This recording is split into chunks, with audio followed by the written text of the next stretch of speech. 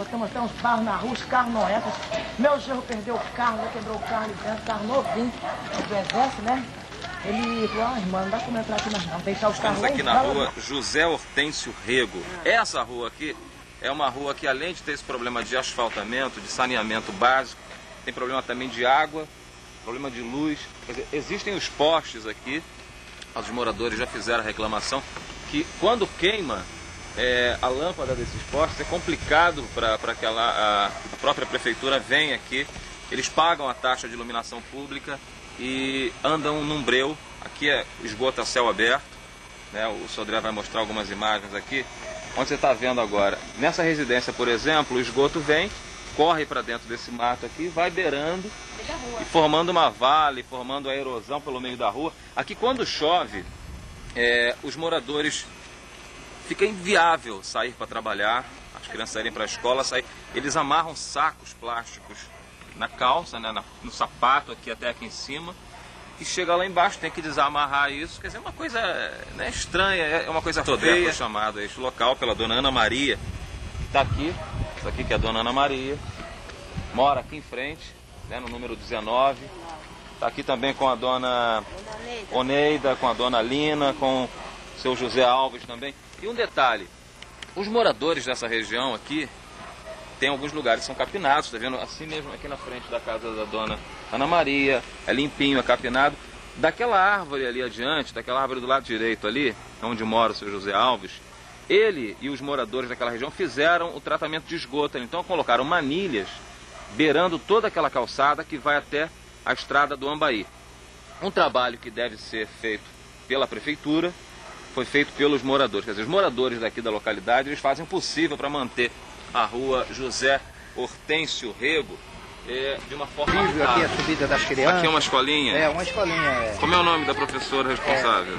A professora, a dona daí chama-se Vanusa. Dona Vanusa. É, dona Vanusa. Aqui são as crianças É, saindo, tá né? Saindo, é. Então quando chove aqui é uma dificuldade para essas crianças Até para as crianças chegarem aqui. chegarem aqui, né? É horrível. Senta aqui, senta aí, senta. Vou falar com a, com a professora aqui. Boa tarde. Quando chove aqui, como é que é para essas crianças chegarem até a escolinha? É muito complicado? Complicadíssimo. Só no colo da mamãe. Muitas faltam, inclusive, né? Muitas deixam de vir. É, não vem. Esse, isso aqui é um, é um profissional da prefeitura ou não? Como assim? Não, não, não. não. Mesmo. Morador também. Quer dizer que Tá fazendo uma rede de esgoto. da prefeitura ele, ninguém, né? Ninguém. Tá? Então, Tá um fazendo morador-. O morador é que tem que comprar material, tem que trabalhar. No caso, o próprio morador não está nem pagando mão de obra, porque de repente ele não pode.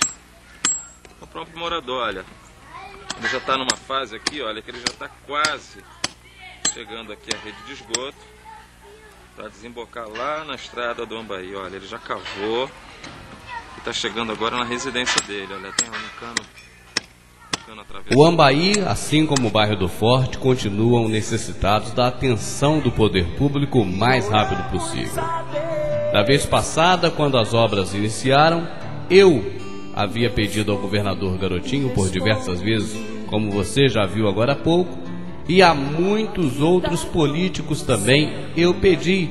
Olha as imagens. Veja a quantas pessoas eu recorri pedindo melhorias para o bairro de Mingão Couto. Mas eu não parei por aí não. Eu continuo pedindo pelas obras do bairro.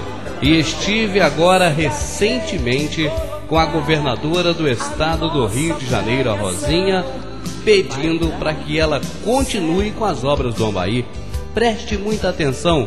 Vamos ouvir o que a Rosinha tem para falar para você, morador do Ambaí e do Forte.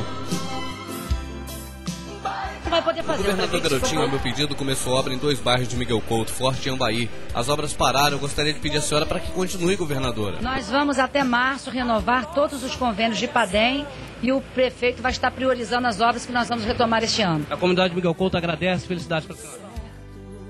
Você reparou bem? Eu pedi à governadora Rosinha para continuar as obras do Ambaí e do bairro do Forte. E ela disse que vai liberar a verba em março. Aleluia! Que maravilha! Resta agora pedir ao prefeito de Nova Iguaçu que aplique essa verba que a Rosinha vai liberar realmente na retomada das obras do Ambaí e do Forte. Vai poder O fazer. governador prefeito se Garotinho, ao meu pedido, começou obra em dois bairros de Miguel Couto, Forte e Ambaí. As obras pararam, eu gostaria de pedir à senhora para que continue, governadora. Nós vamos até março renovar todos os convênios de Padem e o prefeito vai estar priorizando as obras que nós vamos retomar este ano. A comunidade Miguel Couto agradece. Olha como eu tenho me sacrificado para conseguir ver realizadas essas obras do Forte Ambaí.